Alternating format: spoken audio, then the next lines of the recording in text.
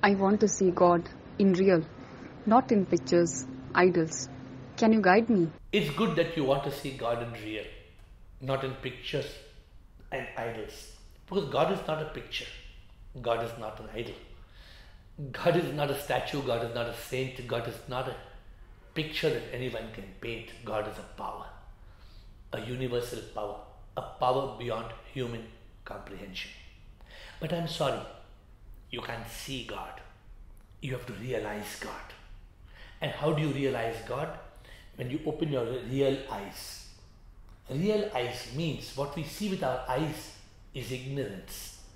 We must overcome the ignorance. We must realize the truth.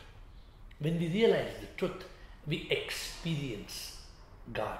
Actually, we don't even experience, it is beyond experiencing, it is realizing. You realize God, you feel the presence, you realize that there is a power called God.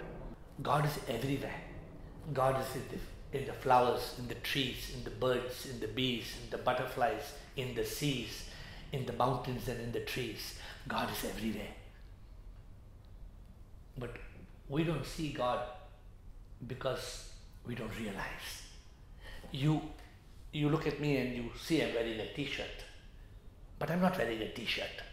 You see a t shirt, but actually it is all threads woven together as a t shirt, but you don't see the threads.